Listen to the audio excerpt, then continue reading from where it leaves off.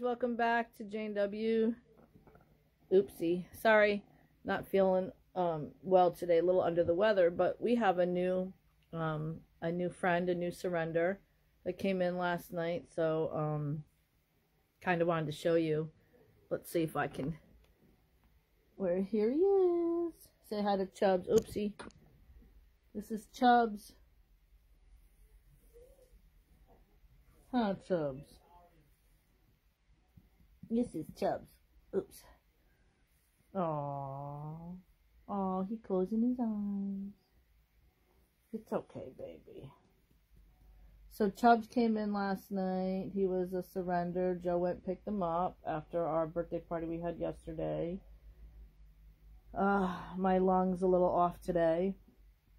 Again, I'll explain that whole situation another day, but I am relaxing in bed today. I have the doggy down there. I have a kitty up here by the TV. a few more cats floating around, and now I have Chubs in bed.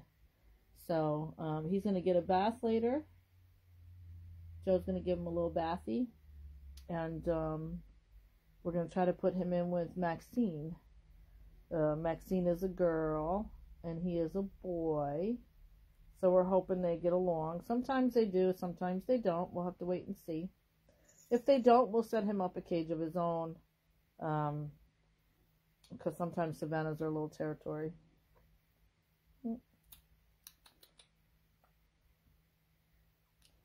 Say hi, Chubs.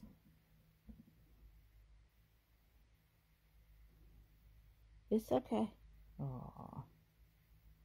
He's starting to, he's shedding a little bit. So, we're going to take care of Chubses and, uh, Have crappy mouth. It's going to be one of those lazy days, unfortunately, which sucks because I can't really get much done today. But unfortunately, sometimes we don't have a choice but to not do anything for a day, and especially me, because if I overdo it, it hurts me physically. Um, so I'm just going to lay here with Chubs for a while. Just no pooping on me, Chubs. Oh, you're okay, baby. It's okay.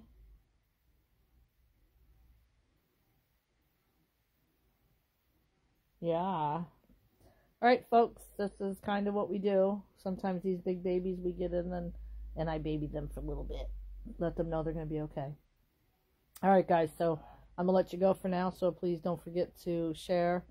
Um, I never say it that way. I always say like, share, and subscribe. And until next time, see you later, alligator. Say bye, Chubs.